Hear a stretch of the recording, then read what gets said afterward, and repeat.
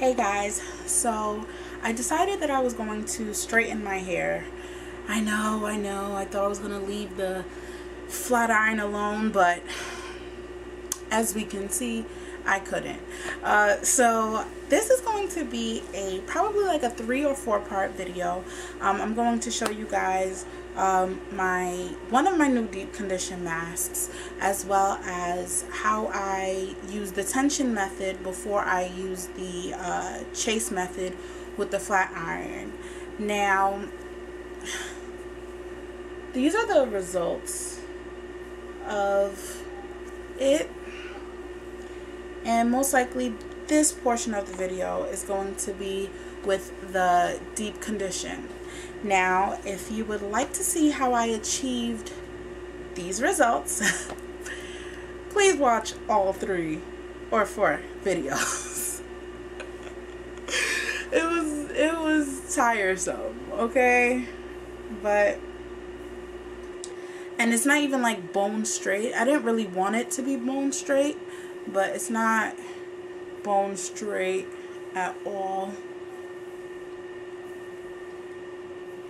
and um, yeah all the information on what is in the deep condition mix as well as the benefits of them are going to be listed down in the description box below as well as um, how often I plan on doing this new um, deep condition mask for the winter and yeah that's pretty much it Yo.